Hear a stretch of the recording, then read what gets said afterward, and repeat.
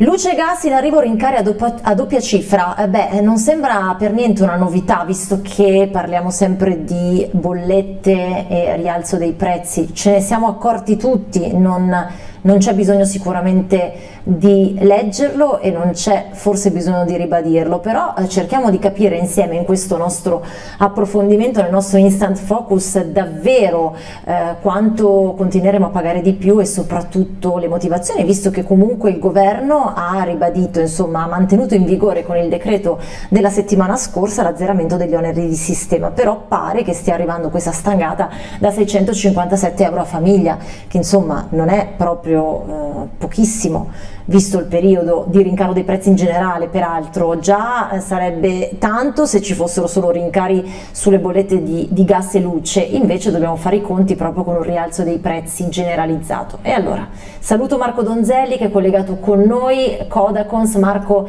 grazie per essere buongiorno. qui, buongiorno. Allora, intanto insomma eh, è così, arriverà questa stangata da 657 euro a famiglia? Eh sì, purtroppo la situazione è questa e eh, non c'è via di scampo stando allo scenario che si è rappresentato in questo periodo.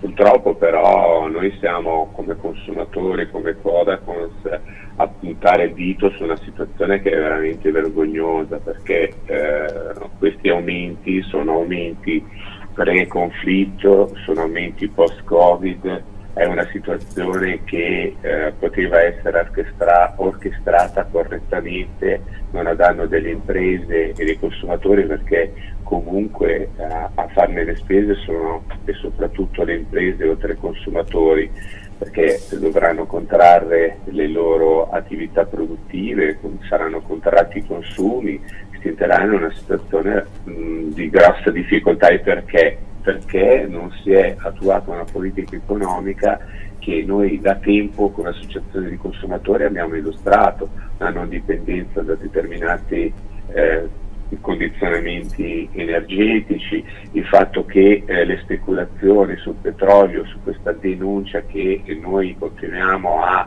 dopo, dopo anno dopo anno a esporre al governo, ai ministri, cioè delle impossibilità di verificare concretamente l'aumento e la diminuzione del costo della benzina sulla base del costo del petrolio al barile è una cosa che rappresenta un minimo di civiltà. Il fatto che il gas eh, sia aumentato così sensibilmente a causa di giochi eh, di, di risico all'interno dei produttori di gas condizionando fortemente le imprese di tutto il mondo, il mondo è un, un'intera famiglia, bisogna aprire una riflessione sul campo economico che vada al di là della speculazione borsistica del costo della eh, energia. Il costo dell'energia eh, deve essere contenuto perché è un elemento essenziale per la vita di tutti, così come è essenziale l'uso dell'acqua che deve essere in questo periodo utilizzata e ottimizzata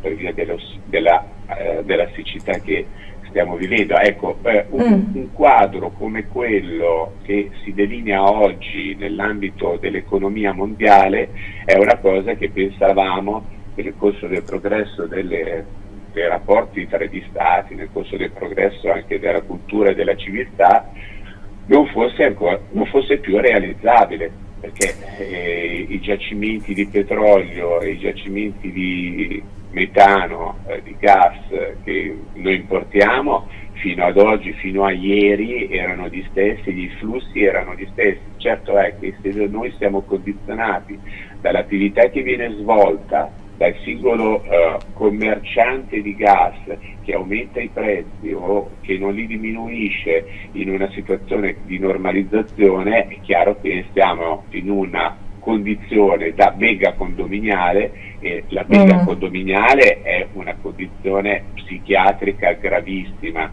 Noi sappiamo come le, le assemblee condominiali rappresentino il peggio degli individui durante il loro manifestarsi, ma qui c'è di mezzo la pelle delle persone, eh certo. c'è di mezzo la vita delle persone e non si può giocare al gioco del condominio della seconda no no no, no della... ci mancherebbe. Peraltro appunto imprese eh, tu giustamente Marco sei partito da lì eh, non dimentichiamoci che poi questo si traduce anche in eh, operazioni negative sul fronte del lavoro perché se le imprese non hanno più soldi è ovvio che eh, non, non, possono neanche più garantire il lavoro alle persone. Allora io leggo qualche, eh, qualche numero che riguarda proprio questi, questi aumenti. Poi prima di salutare salutarti Marco vorrei che tu eh, dessi, insomma, ehm, cioè, dessi, qualche suggerimento rispetto agli atteggiamenti che tutti noi possiamo eh, avere per eh, quantomeno arginare queste spese anche se poi si spera che eh, le, le, decisioni arrivino dall'alto. Allora intanto appunto avevamo avuto questi tre mesi di ossigeno con un calo del 10% disposto per il periodo aprile-giugno però adesso c'è questo trend di crescita. Allora un balzo della bolletta elettrica del 17% 48,5 centesimi kilowattora che per la famiglia famiglia tipo che consuma 2700 kWh all'anno implica una maggiore spesa su base annuale di 194,4 euro. Peggiori le novità per la bolletta del gas, la tariffa dovrebbe rimbalzare del 27% a 1,57 euro per metro cubo, con una maggiore spesa della famiglia tipo che consuma, ovviamente sono statistiche, 1400 metri cubi l'anno di, pensate, 462 euro su base annua e qui appunto eh, facendo un calcolo arriviamo ai 657 euro a famiglia famiglia di cui parlavamo eh, poco fa. Allora, la decisione finale poi spetterà all'ARERA, eh, l'Agenzia per, eh, per l'Energia, insomma, che tenterà qualche intervento con l'aiuto del governo, ma qui non si tratta di tentare qualche intervento, è quello che dicevi prima tu Marco, no? bisogna agire in modo strutturale. Detto questo, cosa possiamo fare tutti noi per eh, evitare di avere veramente bollette che non possiamo magari neanche pagare? Allora, la prima cosa che dobbiamo considerare è questa, noi siamo gestiti da un sistema politico inappropriato, incapace, dove le persone che votiamo non hanno la conoscenza, la cultura, eh, ma neanche la possibilità di parlare una lingua diversa dall'italiano quando siedono a un tavolo internazionale.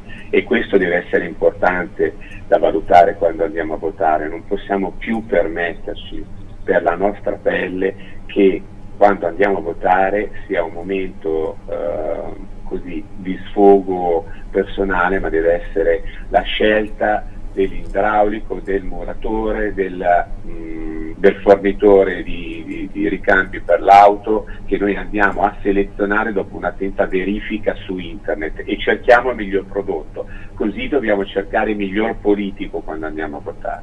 Secondo aspetto, è veramente incredibile che oggi, nel 2022, si debba fare i conti con un'assenza di politica italiana nell'ambito energetico quando tutte le organizzazioni dei consumatori, tutte le persone che si occupano di questo problema abbiano sempre sottolineato l'esigenza di tutelare l'ambiente, di diversificare le fonti energetiche. Punto terzo e ultimo è che noi come consumatori ad oggi non abbiamo altro che il potere di protestare e di farci furbi. Farci furbi mm. cosa vuol dire? Cercare il miglior contratto energetico di gas possibile anche con l'aiuto di un'associazione di consumatori come il Codacon.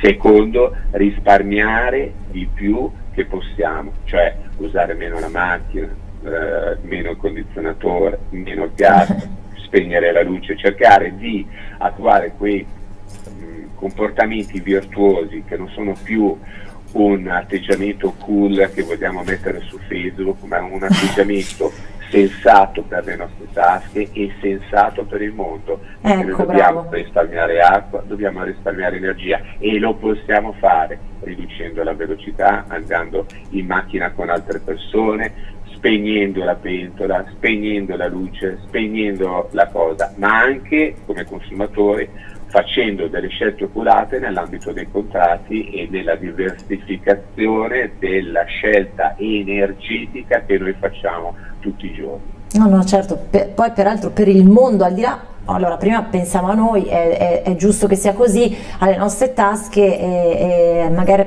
poter risparmiare qualcosa. Visto che l'individuo è un soggetto egoista, siamo tutti molto egoisti, ci mm. sono persone che lo sono di più e altre magari di meno, però l'individuo è egoista. No, diciamo Ma Marco, quando viene sì, toccato sì. dal portafoglio incomincia eh. a ragionare. No, no, no, no ecco. esatto, esatto. Infatti stavo dicendo, nell'immediato ovviamente pensiamo alle nostre tasche perché è giusto che sia così, però poi questo ci deve far riflettere a livello più generale, appunto eh, la famosa emergenza climatica di cui si parla anche in tempi non sospetti e che come seguo insomma il tuo ragionamento eh, è un po' snobbata da tutti perché sembra che poi non ci tocchi da vicino, beh no, in realtà sì, stiamo vedendo anche quello che sta succedendo adesso con l'acqua, con la siccità e, e, e, quello che potrebbe comportare no, per tutti noi. Allora Marco Donzelli ci torniamo su questi temi naturalmente perché purtroppo temo che eh, continueranno a essere un'emergenza. Intanto grazie per essere intervenuto. Grazie a voi per l'opera di informazione che fate. Grazie, grazie, eh, ce, la, ce, la, mettiamo tutta insomma